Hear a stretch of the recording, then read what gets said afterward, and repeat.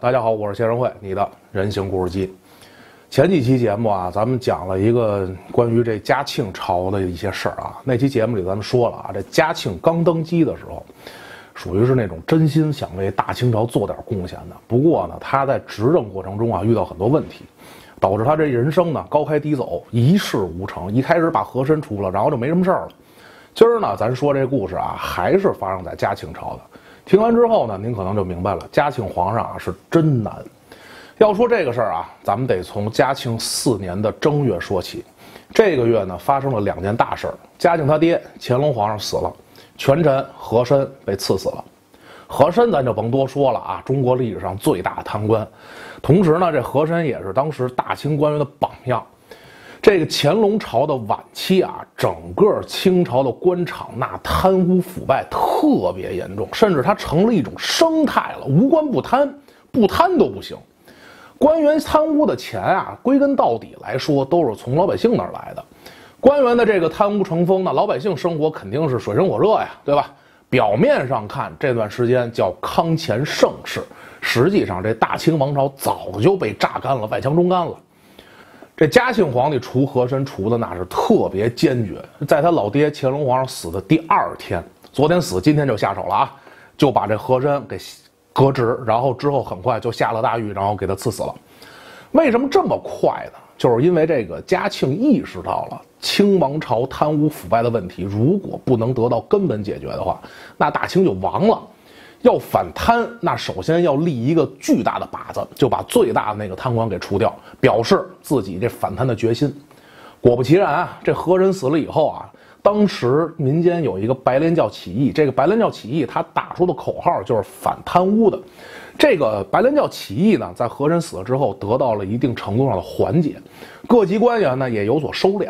不过这嘉庆皇上也明白啊，这贪污的这个根源其实是来源于乾隆朝的中后期那种吏治混乱，还有当时很多财政问题。为了解决这些问题呢，嘉庆下旨，这个全国官员平民啊，你们都可以直接给皇上上书了啊，举报揭发身边那种不法行为，同时呢，也可以给皇上我提意见，对吧？而且要求所有人必须直言不讳。嘉庆为此还承诺了啊，绝对不什么秋后算账啊，绝对不抓辫子，不打棍子。解释一下啊，这个不抓辫子、不打棍子这两个词组啊，是嘉庆皇上的原话，实录里就这么写的。这个旨意一下，全国上下的这个全国各地这尚书啊，就像纸片一般就飞进紫禁城了。嘉庆这看的好家伙，眼都花了，嚯，这大清朝这么些问题，这一系列新政，史称叫嘉庆新政。嘉庆皇帝呢，确实也说到做到了，虚心接受这个官员啊、百姓的建议。有些这个平头老百姓，他在上书里的措辞，咱说实话很激烈，对吧？大骂嘉庆，就是甚至于就是说，就差把祖宗十八代给骂一遍了。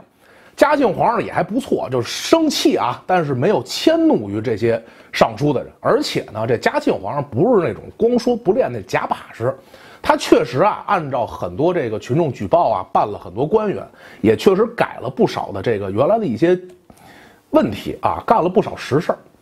从这嘉庆四年开始，就是嘉庆皇上正式继位开始啊，几乎每个月都有省一级官员的变化。仅仅是在嘉庆五年，全国十一个主要行省的什么总督啊、巡抚啊，六个人被撤职，两个人被罚俸。这种雷霆手段，咱说实话，别说在大清朝没有，整个中国历史上都非常罕见。嘉庆的这个反贪过程里头，全国上下有超过一百名官员因为这贪污被杀头、罢官、罚款。这些事儿呢，也震撼了不少这个心存侥幸那种贪官，有人甚至主动自首，以求从轻这个处罚。除此之外，这嘉庆也明白，我现在这种东西啊，叫雷霆手段，不能光这么做。还得在这全国树立这个反贪的清廉榜样。嘉庆皇上就把这个目光投向了当年帮他打倒和珅那御史广兴。这御史广兴人可不一般啊，他是当时被嘉庆授意向和珅开炮的第一个人，把这个广兴树立成典型，让他在这兵部当了一个侍郎，正二品，兵部侍郎，大概相当于副部级干部，并且呢向全国推广他的事迹。嘉庆这一系列操作啊，看上去特别好，那他会不会改变这个清朝官员的面貌呢？哎，一点都没有。不仅没有，而且这贪污的问题啊越来越严重。就拿这个嘉庆立的这个榜样广兴来说啊，他到这个兵部上任第一年年底查账吧，对吧？那会儿年底也要查账，查账一看，好，广兴贪污四万两银子，这给嘉庆气的，好家伙，我刚立为，我刚把您立为榜样，您现在带头贪污，刚要办的，一查办不了，为什么呀？因为他这案子牵扯出的贪官太多了。兵部上下都参与了，从这尚书到底下那堂官都没跑，嘉庆没这你不能都杀了呀，对吧？按照当时的大清令，这个八十两银子以上就杀头，你这不能都杀，你都杀这兵部就空了，对吧？只能对这些官员，比如说像广兴，他当时的处罚就是留步查看，对吧？然后把你的，然后罚点俸就完了。其他官员也大概也也基本上就是这种处理方法。京城是这样，那地方上就更是如此了。虽然这个嘉庆皇上这雷厉风行啊，处置了不少贪官，其他官员一看，刚开始他们的反应是什么呀？真是啊，吓一跳。紧接着呢，开始对抗朝廷。之前不少这个贪官啊，都是因为这个百姓举报信落马的。这地方这个官员啊，就开始了，就掐灭老百姓上书的通道，是不是？在各大路口，好家伙，严防死守。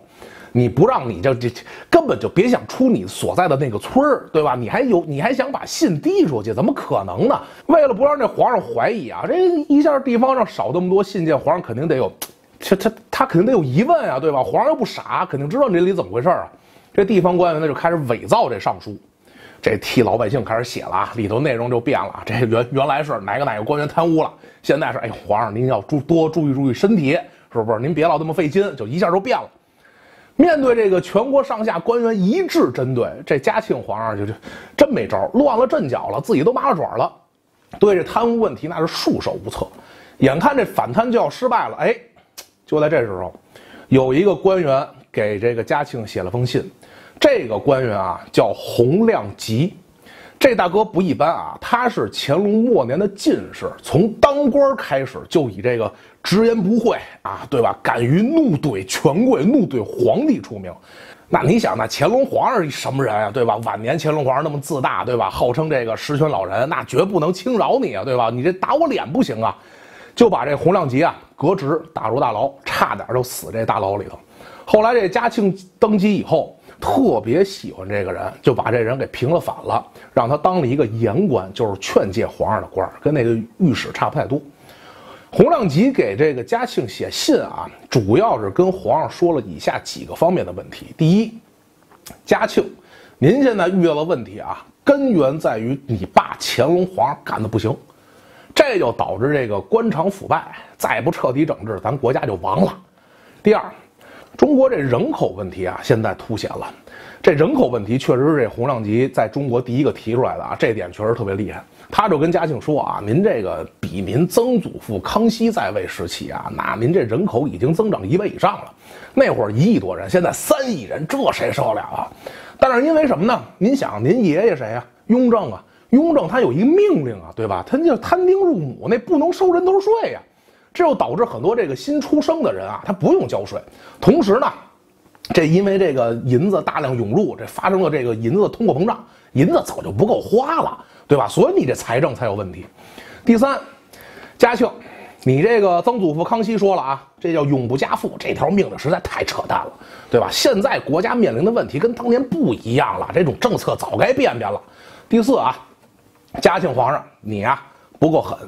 这种叫治乱世用重典呀，对吧？这你现在惩治贪官的力度不够啊，对吧？你就是把他杀了，对吧？他家人都在，他那些钱什么你还追不回来，这不行。而且呢，这说明一个问题，说明你这皇上不够勤奋，对吧？才有今天这种局面。看完这封信啊，嘉庆差点吐了血。好家伙，洪亮吉，您这您老小子这是把我跟我祖宗骂了一遍，是吧？从我太爷爷到我爷爷到我爸到我，你全骂了一遍。但是嘉庆冷静了一分析啊，这洪亮吉说的有道理，对吧？因为他自己也明白，他现在遇到问题很多都是祖宗积下来的。嘉庆皇上呢就非常矛盾，如果按照洪亮吉说的那么干，那可能能解决这个腐败还有财政问题。但是呢，这种就属于是什么呀？叫彻底否定了这个康雍乾盛世啊，对吧？这彻底否定康雍乾盛世，这是天大的不孝啊！那都是我父辈干的事儿啊！清朝号称什么呀？号称以孝治天下。那我现在要这么干，我您甭说这，我这个合法性都就就就就都会被质疑了，对吧？国本嘛，这种问题，国本不稳，江山不稳啊。但是呢，如果不按照洪亮吉说的干，好像也没什么好办法能解决现有问题。本来啊，嘉庆这会儿他只是两难，他不知道应该怎么办了。但是洪亮吉这会儿干了一件多余的事儿，彻底让嘉庆下定决心。洪亮吉呢，给这嘉庆皇上写完这封信之后，还把这封信誊抄了 N 多份，转手寄给了全国各地官员，还让自家的仆人出门向民间就推广这封信，就念啊，公开就念。嘉庆皇上知道以后，那一拍桌子，龙颜大怒，那龙书案都会给拍碎了。信中内容。且不说你是谁写的，就这东西，我皇上自己说行，对吧？我说那叫罪己诏，你说出来，首先这叫大逆不道，更何况您这还让老百姓知道，你这就是煽动群众推翻大清啊！所以嘉庆决定把这洪亮吉就要给办了，但是想把他办了这事儿啊也有问题。知庆，你你你嘉庆之前说了呀，对吧？不抓辫子。不打棍子，你圣旨里自己写的，那我以什么罪名处置这洪亮吉呢？嘉庆想尽办法，那没招，还得是放弃自己之前的承诺。这洪亮吉这奏折里头第四条不是说了吗？啊，嘉庆皇上，你现在这个还是不够勤奋，对吧？皇上呢，决定从这儿下手。就在他这个奏折上来第二天，嘉庆皇上就当着所有文武百官的面就把他骂了一顿，啪，这信往这个。龙书案上一扔，就反复问一个问题，其他问题都忽略了啊，就问一个问题。哼，朕天天工作这么忙，是吧？起得比鸡早，睡得比鸡晚啊！你还说你这这我这种工作孜孜不倦呀？这是啊，这全世界都知道的事儿。你洪亮吉，你凭什么说朕不不够勤奋啊？你给我说，你给我你给我你给我说说，你你说呀？你说得出来吗？你这不是小问题啊，这是很大的问题啊，非常危险啊！搞不好你们这些官员就要像明末那个东林党一样了，动不动就拿那个皇上你不够勤奋这种片儿汤话来糊弄我们，这是这是歪风邪气啊！我必须要对这种歪风邪气坚决打击。跟各位说啊，朕不是因为他写了什么那些辱骂朕的话，而是认为他的这种他代表了一种歪风邪气啊！我们要坚决与这种歪风邪气做斗争。于是这倒霉的洪亮吉没招啊，他皇上下命令了，被关进了大牢，后来呢还被发配到新疆了。但是这嘉庆心里明白啊，这洪亮吉啊，他没错，一点错都没有。他最多就是你不该把这个东西散出去，对吧？于是下旨，刑不上大夫，任何人不能难为洪亮吉。伙食你也得按照这一级官员的标准给我提供。过了几年呢，又悄悄的把这洪亮吉给特赦了，让他回家回内地啊养老。胡亮吉到晚年啊，在他自己的日记里也这么写：哎，如果这没有当年皇上旨意啊，我早被人折磨死了。确实，在这件事上，他特别感谢，呃，这个嘉嘉庆皇帝。胡亮吉的案子呀，这个本来应该是一场轩然大波，但是就这么着，悄无声息的就结了。但就是这么一个小案子，让这个嘉庆的心态发生了转变。从洪亮吉案开始，嘉庆皇上就成了一个那种照搬祖宗规格、照搬祖宗制度的那种皇上。他特意还写了一篇东西，叫《守成论》，就说了，我现在就是守成之君。守成之君，什么最重要？尊祖制最重要，对吧？就让嘉庆皇上彻底沦为一个碌碌无为的皇上。同时呢，这洪亮吉案还标志着这嘉庆新政啊就完结了，对吧？刚开始就结束了。从此之后，嘉庆也再也没有找到什么有效的办法解决大清的问题。大清王朝覆灭啊，那只是时间问题了。洪亮吉案大概的流程啊，就是这么多。当初这个了解洪亮吉案的时候，我就在想，这洪亮吉他是真蠢呐，他以为把这真相告诉所有人，会让这个皇帝有种紧迫感，对吧？这民间呼声这么高，这民间一撺掇，你皇上不就得这么办了吗？对吧？但是，你这么做却把嘉庆推到了他必须要守祖制的深渊。守祖制这个概念啊，那真是可以说是这个中国两千多年为什么固步自封啊？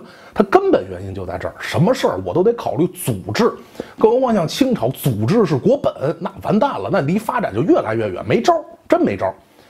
好了，关于这个洪亮吉案啊，咱们今天就说这么多。我是谢仁慧，你的人形故事机。